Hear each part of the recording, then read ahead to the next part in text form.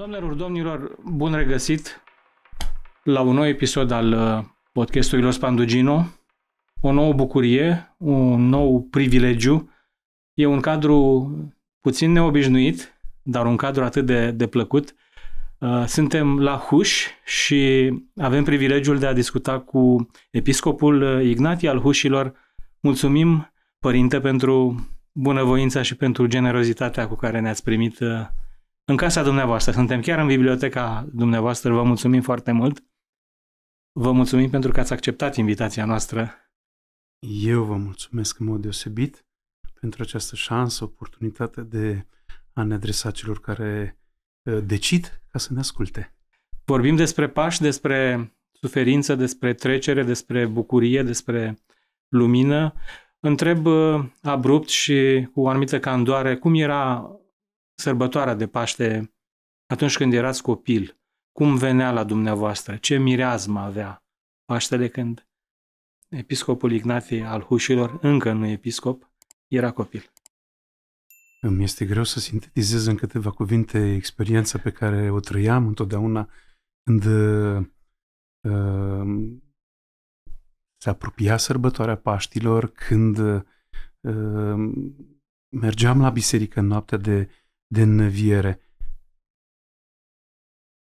Am un cuvânt totuși care îmi stă acolo în minte și uh, vrea să țâșnească, să iasă din, din, uh, din lăuntrul meu.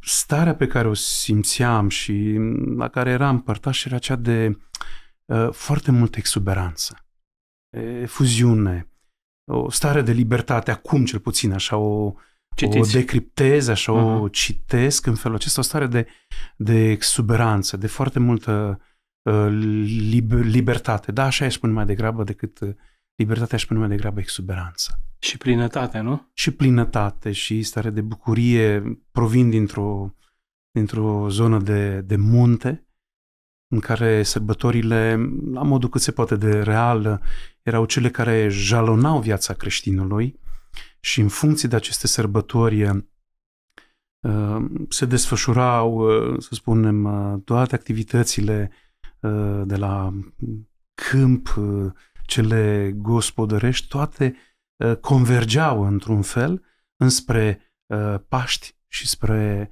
spre, spre Crăciun. Însă avea o aură deosebită, evident, nu trebuie să spun acest lucru, sărbătoarea, sărbătoarea Paștilor. E bine că jalonau. De ce e bine că jalonau viața oamenilor aceste sărbători? Ce dau aceste jaloane? Întreb ca și cum n-aș ști să zic, deși eu însă sunt convins că e bine și că e bine să avem asemenea jaloane.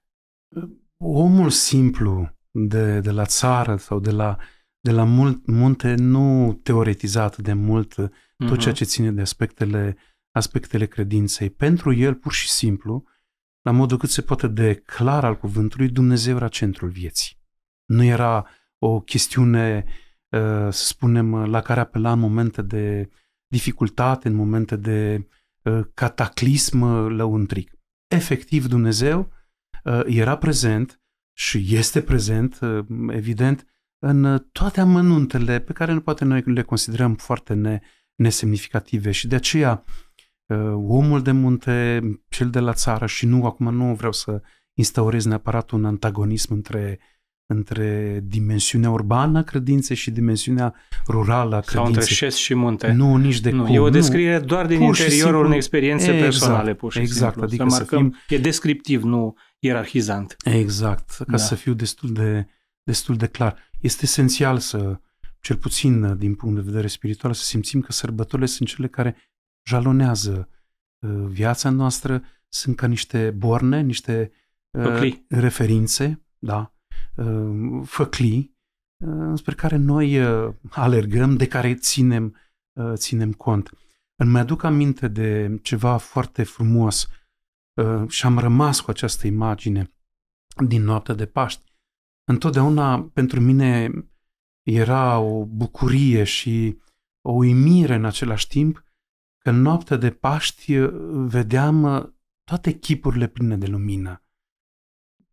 Știți că ritualul din noaptea de Paști este cel care prevede ca și, ca și desfășurare, ca și modalitate de, de a-l trăi, să fie stinse toate luminile în, în biserică, preotul iese în mijlocul ușilor împărătești, în mijlocul, în fața altarului și poftește, cheamă lumea ca să poporul, ca să ia lumină.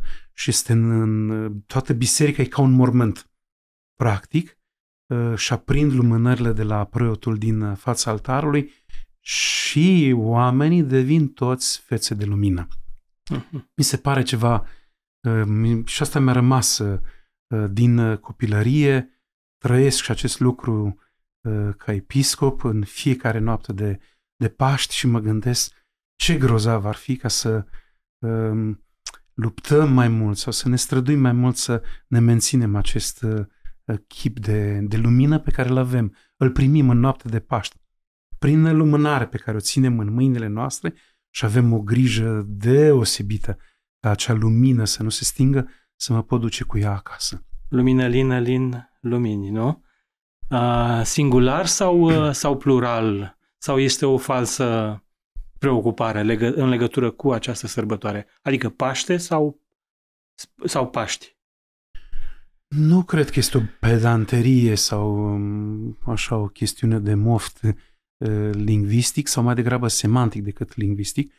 Este mult mai, uh, mai potrivit și mai multă consonanță cu semnificația spirituală a acestei sărbători, pluralul. De ce pluralul? Pentru că uh, zilele de Paști sunt trei, nu este da. una singură.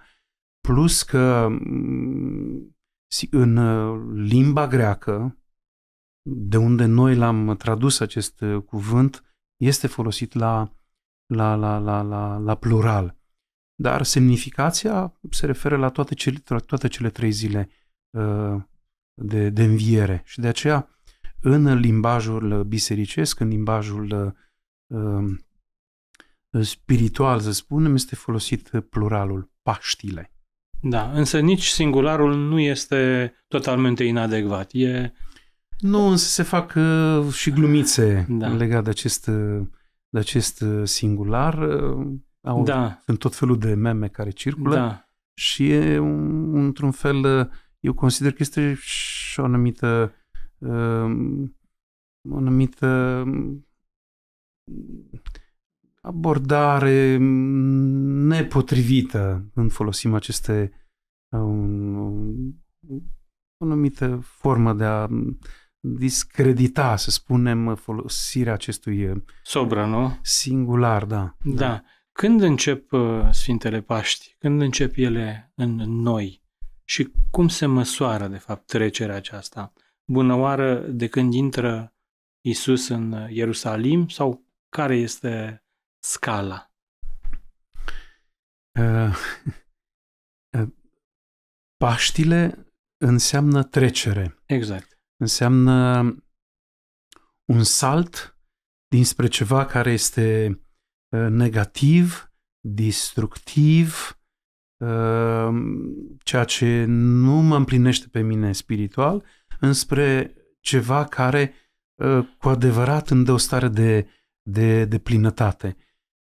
Învierea începe în momentul în care Hristos a fost răstignit pe cruce, Uh, țintuit și s-a coborât la iad, biruind moartea, adică să nu ne închipuim că Hristos este cum uh, îl găsim reprezentat iconografic în, uh, în tradiția occidentală, în tradiția puseană, deasupra unui mormânt, cu un steag fluturând în mână, transmițând mesajul că a biruit cu adevărat moartea, o viziune foarte triumfalistă, să spunem, asupra, asupra morții, care, din punct de vedere ortodox, este inadecvată. Pentru că uh, Hristos uh, n-a avut nevoie de o, de o luptă, de o zbatere specială cu acest dinamic al existenței noastre pe care îl numim, uh, pe care îl numim moarte, pentru că El este însăși viața. El doar a gustat, să spunem, să folosesc o, o metaforă, dar e la modul cât se poate de real, nu metaforă fără fundament, fără um, aplicabilitate re, re, reală, a gustat moartea și în momentul în care a gustat moartea, deja a învins-o. Și acela este punctul, să spunem, uh, al uh, învierii lui Hristos, al biruinței, asupra morții, asupra întunericului, asupra, asupra uh, păcatului. Învierea, învierea începe odată cu coborârea lui Isus, Isus la, la iad. De fapt, icoana ortodoxă a învierii, așa cum o putem vedea aici, este cea a pogorârii lui Isus uh, la iad. Isus este aici reprezentat în iad. Deasupra uh, iadului sunt aceste uh, porți, să spunem, care sunt sfărmate și îl întinde mâna înspre Adam și Eva, îl prinde de, de, de închieturi, nu din altă parte a corpului, nici de umeri, nici de, nu știu, de orice uh-huh. altă parte a corpului, pentru că Hristos prin înviere a venit ca să dea puls umanității. De aici ne este uh-huh. luat nou pulsul. Când suntem într-o stare muribundă, ă, să spunem ă, instantaneu, dacă este cineva lângă noi, verifică să vadă dacă mai avem puls. Și Hristos îl prinde pe Adam ca cel care ă, concentrează, Adam concentrează întreaga umanitate, îl prinde pe Adam de închieturile mâinilor și mâine și îl scoate din, din iad, care este locul morții, al întunericului, a tot ceea ce putem gândi noi uh, negativ. Prin urmare, învierea începe în momentul în care Hristos a gustat moartea. Cel este uh, punctul, să spunem, uh, uh de deschidere al uh, luminii, al biruinței uh, asupra morții. Cum trebuie să fi fost uh, Ierusalimul pe atunci? Cum v-ați putea imagina locul acesta? Cum ne-am putea imagina locul acesta? Mi-l imaginez așa cum îl găsim descris în, în textele în Evanghelii, în textele Noului Testament, un Ierusalim derutat, derutant, derutat, uh-huh. cu oameni ezitanți din punct de vedere spiritual, pentru că uh, cu o săptămână înainte de învierea lui Hristos, aceiași oameni l-au primit cu ovații pe Hristos, cu osanale, cum spune. Da. L-a intrat smerit pe un asin, un uh, măgăruș.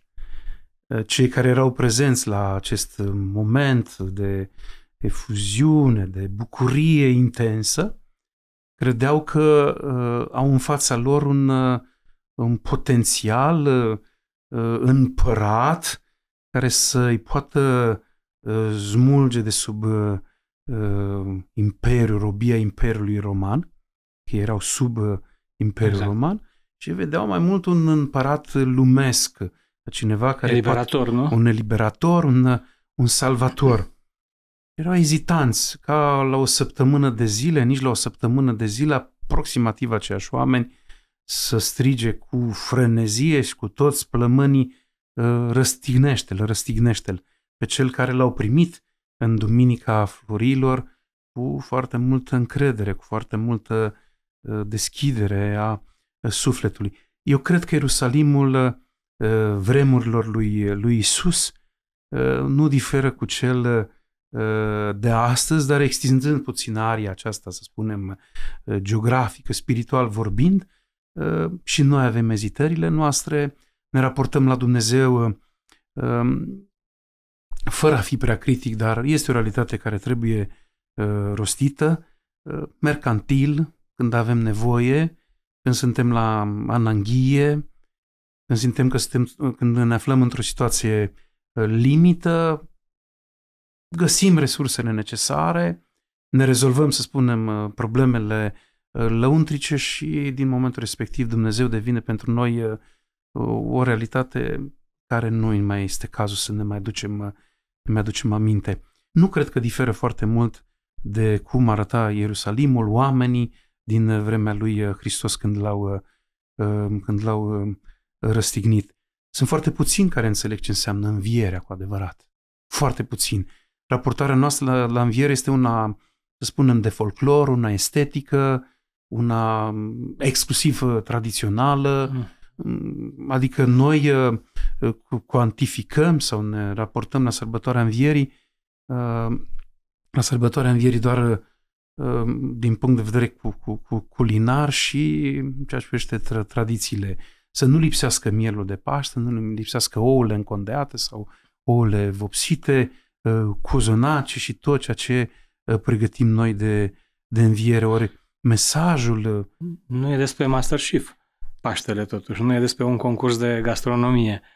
Care ar fi atunci câteva, câteva repere minimale pentru a include ceea ce spuneați dumneavoastră, dar mai ales pentru a înțelege uh, cu adevărat sau pentru a ne apropia cu adevărat de o înțelegere adecvată a ceea ce înseamnă această trecere și bucuria învierii. Sărbătoarea Paștelor este una prin excelență o sărbătoare a luminii și a bucuriei. Dacă noi uh, căutăm din punct de vedere spiritual să, um, să facem o, o, o, o răsucire înspre noi înșine, să uh, vedem uh, care sunt hibele din noi, să ne facem o revizie tehnică și să ajungem la această um, stare de conștiință o stare de conștiință cu o anumită claritate morală, prin care să spunem uh, păcatul, tot ceea ce este rău, mă dezintegrează, îmi creează o disfuncționalitate la nivelul trăirilor mele uh, sufletești. Și atunci am nevoie ca să-mi regăsesc unitatea mea interioară.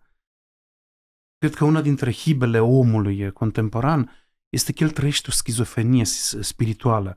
Schizofrenie în sensul cât se poate de etimologic al, al cuvântului, adică o ruptură, ruptură, o ruptură la nivelul minții, la nivelul lăuntricului, al, a tot ceea ce presupune universul nostru, uh, universul și ne dezintegrăm, trăim atât de dispersați, atât de, de, de împrășteați în toate, în toate direcțiile și nu mai, nu mai găsim acel uh, punct de uh, referință, acel centru al uh, existenței noastre.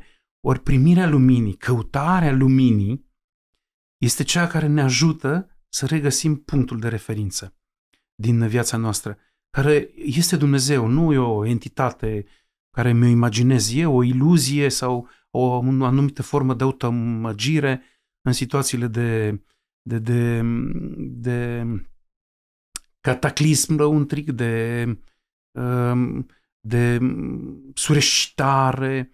Mă gândesc, a, e minunat să fac apel la credință, să fac apel la la Dumnezeu, pentru că în felul acesta eu mă voi recăpăta, să spunem, liniștea de care am foarte mare nevoie. Eu cred că e și o raportare mai mult emoțională, sentimentală. Noi avem nevoie de un alt fel de liniște, o liniște care să vină în adâncul nostru, încât în jurul nostru să fie chiar război, că toți suntem în vreme de, de război, rumoare, gălăgie multă, dar tu rămâi neclintit în tine însuți, în în pacea pe care o ai, care e o pace uh, nu una de asta, să spunem, uh, conjuncturală, uh, pur sentimentală, simți că cineva te iubește, o formă de euforie, de, de, de extaz, mini-extaz, uh-huh. ci o liniște atât de puternică, adâncită în tine, metabolizată chiar de carnea ta, de, de, de, de trupul tău, încât nimeni nu te poate clinti.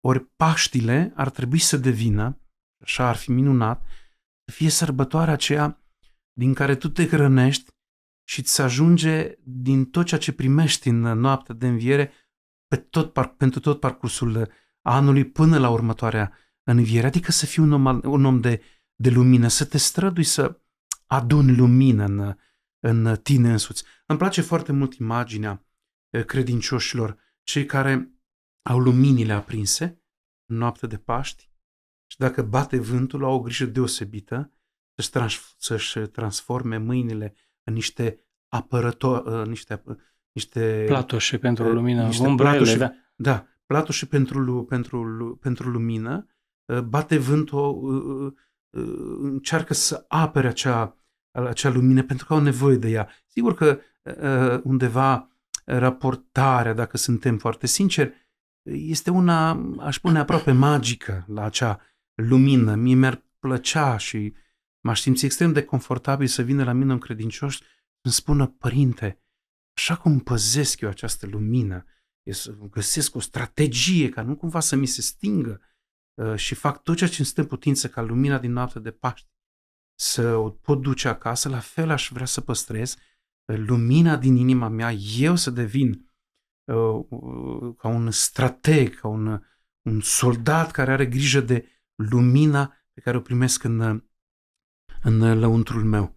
Și toată viața mea să fie o desfășurare uh, înspre sau uh, în favoarea acestei păstrări a uh, luminii spirituale pe care o primim cu toți ori de câte ori ne întâlnim, uh, ne întâlnim cu Dumnezeu. Să slujesc lumina, altfel spus.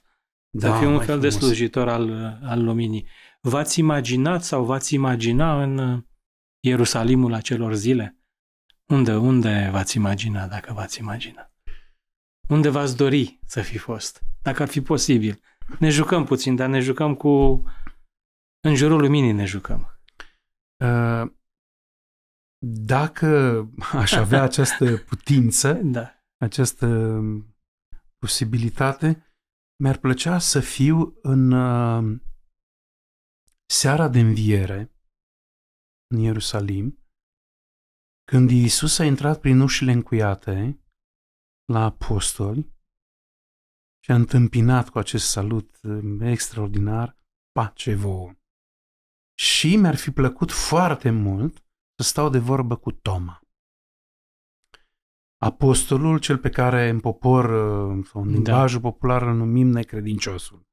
De fapt, n-a fost necredincios, mai degrabă își spune Toma nelămuritul dintre toți apostoli am o simpatie și o afinitate teribilă față de acest e atât de uman. apostol. Da, incredibil, uman, sincer uh, și a avut acest curaj extraordinar, pentru că probabil dacă aș fi fost eu în locul lui Toma, aș fi avut anumite complexe.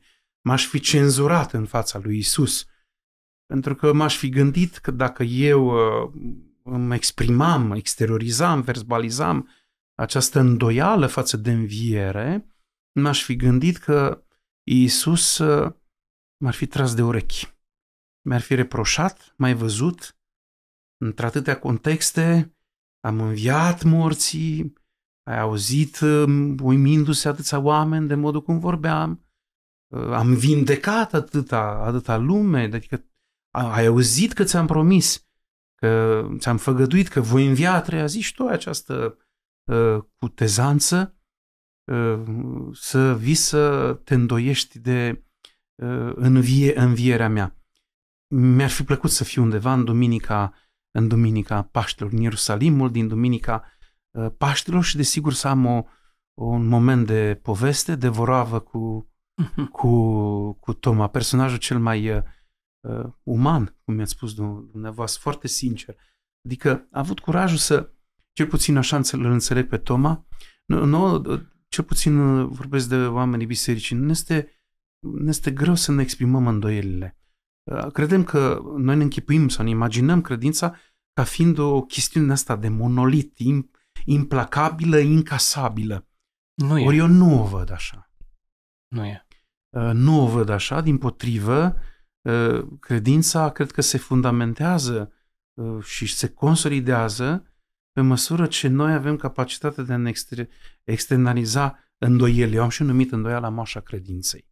Foarte frumos, da. Ma- ma- mașa credinței. Și uh, Toma, uh, patronul celor care se informează de la sursă, uh-huh. Uh, nu l-a, s-a lăsat ușor, uh, să spunem, uh, uh convins uh, de colegii lui de apostolat. i spus, din mai multe surse, nu? Da, i-au spus, a înviat Hristos și a zis, nu, până nu văd semnul cuielor, până nu văd uh, coasta împunsă, eu nu voi crede. Sigur că cei care au citit acest uh, pasaj uh, scripturistic uh, l-au interpretat ca fiind o criză de credință în, uh, în, uh, în uh, sânul apostolului, în, în, în, în colegiul apostolic. Dar nu neapărat o criză de, de, de, de credință, cât o formă sinceră de manifestare a ceea ce simțea Toma, și a fost singurul care a avut curaj, a fost un fel de portavoce de purtător de cuvânt al apostolului și a avut curajul de a spune, de spune lui Hristos, vadă că Hristos nu îl admonestează, nu ripostează, e așa de delicatețe. Noi pe Dumnezeu îl transformăm într-un dictator, într-un uh, personaj care ne trage permanent de urechi, ne tot uh, pune la punct când suntem pe căi uh, greșite. Noi credem că e un fel de cenzor care e foarte atent să nu spunem mai mult decât este în limite la ce, nu știu cine a stabilit aceste limite. Îi dă o libertate extraordinară lui, lui Toman. Îi spunea, haide încoace, din potrivă am putea spune că încurajează. Încurajează uh, această, să spunem, uh, uh, îndoială, nelămurirea lui. Haide, pune mâna în coasta mea, în mâinile mele și să vezi că sunt același, identic cu cel pe care l-ai văzut în Vinerea Mare. Sigur că era de înțeles, apostolii au trăit la modul atât de dramatic, atât de covârșitor uh, suferința uh, din uh, Vinerea Mare, pentru că ei nu-și închipuiau, ei înșiși nu-și închipuiau că Iisus poate să moară. Dacă știau că este Dumnezeu. Uh, eu undeva aș citi, aș, uh, aș uh, interpreta că uh, în sufletul apostolilor uh, uh, toată tragedia sau toată drama din Vinerea Mare când omul în, în iluzia lui și astăzi crede omul tot la fel, tot în iluzia lui că îl poate omorâ pe Dumnezeu, s-a gândit că uh, îi poate face o dispariție fizică uh, a lui Dumnezeu. N-a reușit. Și apostolii uh, au trăit această formă de dezamăgire. Vinerea Mare era mult mai pregnantă în Duminica Învierii uh, decât hmm. uh, promisiunea, făgăduința pe care Iisus le-a făcut-o că El va învia a treia zi. Hmm. Suntem la podcastul Spandugino. Avem bucuria să fim împreună într-o conversație extraordinară cu episcopul uh, Ignatie al Hușilor. Avem privilegiul de a-l asculta pe episcopul Ignatie al Hușilor. Uh, sunt aceste săptămâni, aceste două săptămâni atât de importante pentru istoria omenirii și pentru, mai ales aș spune eu, pentru istoria sufletului oamenilor. Sunt așadar aceste două săptămâni pascale și despre arta de a fi la locul tău? Da. Trimit la ceva care vă este da. foarte apropiat. Da, este vorba de atitudinea pe care noi uh, sau modul de raportare pe care trebuie să-l avem față de, uh, de, de tot ceea ce ține de spiritual. Uh, și ați adus în atenție, în discuția dumneavoastră, una de definițiile pe care am dat-o smerenie, arta de a fi la locul, la locul tău. Într-adevăr, cele două săptămâni, săptămâna patimilor, premergătoare uh, Duminicii Învierii, sărbătorii Paștilor și sărbătoarea după uh, această uh, săptămâna după sărbătoarea, sărbătoarea Paștilor, sunt de o încărcătură specială și din punct de vedere liturgic, din punct de vedere al slujbelor care se săvârșesc în, în fiecare biserică, seară de seară, E o densitate fără precedent, da, practic, da, aceasta, nu? în toată perioada anului bisericesc. Da. O densitate și spirituală, dar da. și în ceea ce privește uh, modul de a-mi trăi credința și de a înțelege uh-huh. credința. Este săptămâna mare. De ce se numește săptămâna mare? Nu pentru că, din punct de vedere astronomic, zilele se dilată, ci se numesc aceste săptămâni, aceste zile, această săptămână, uh, se numește mare pentru că sunt zilele în care Dumnezeu lucrează pentru om.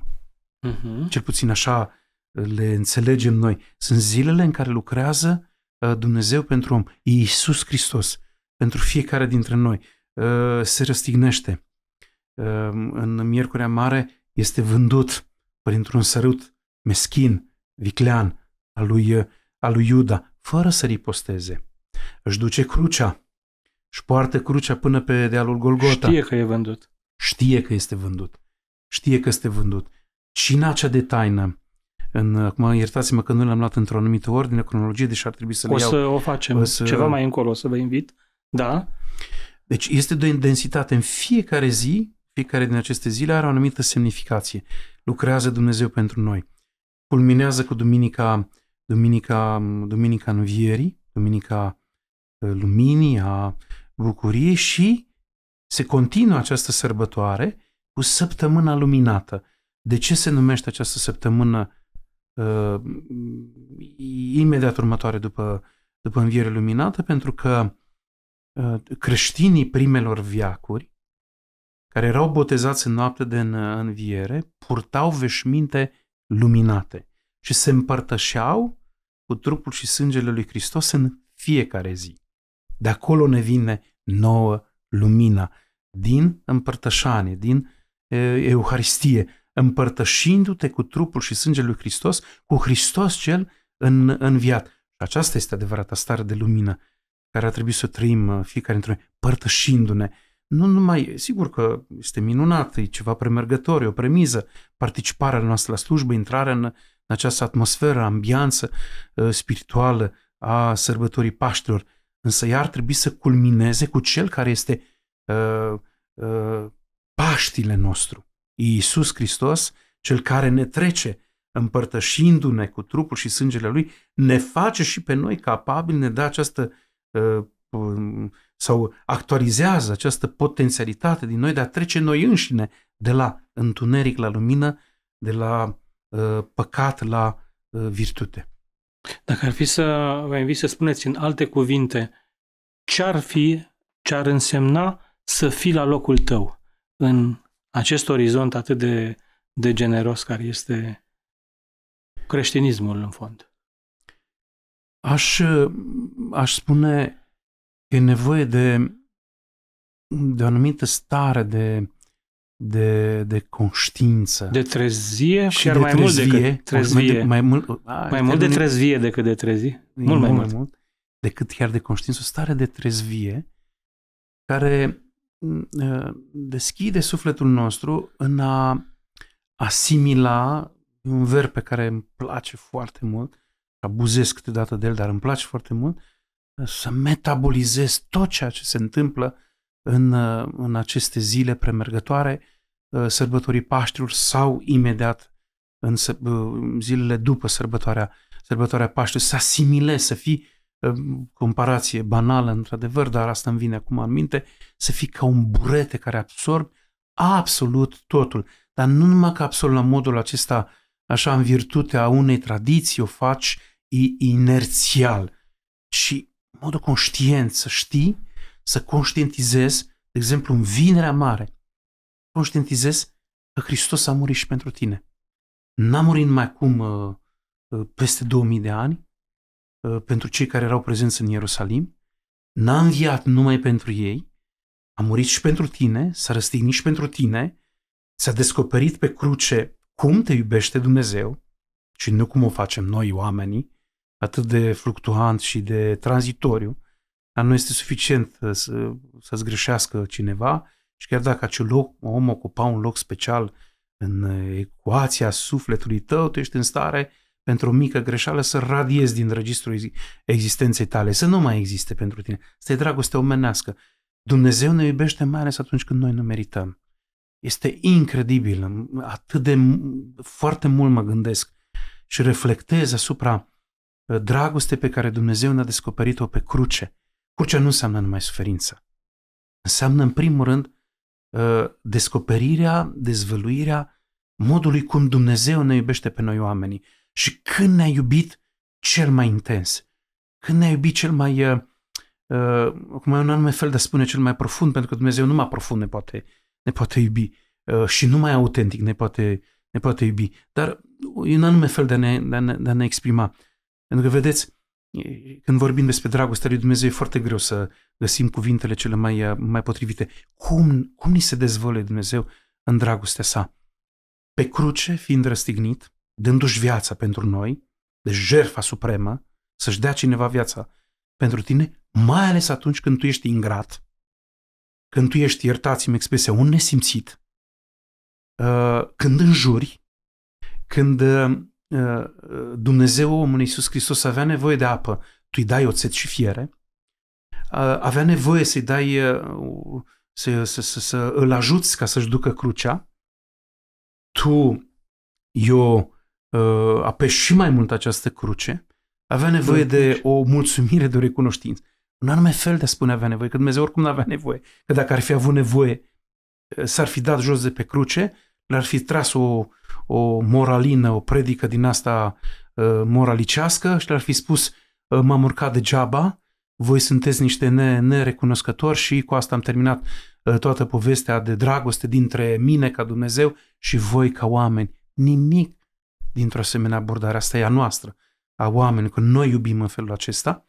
Dumnezeu ne iubește mai ales atunci când noi nu merităm, când ne revoltăm împotriva Lui și, mai mult decât atât, ca să duc lucrurile înspre, înspre apogeu, când eu îmi propun pur și simplu să lucit pe Dumnezeu, așa cum și-au propus cei din uh, Vinerea Mare, că nu l-au urcat pe cruce așa numai ca să fie un uh, moft sau să fie un uh, spectacol pentru toți cei care treceau pe lângă... Au vrut să-l ucidă. Uh, să-l ucidă. Ori Dumnezeu când ne iubește cel mai mult?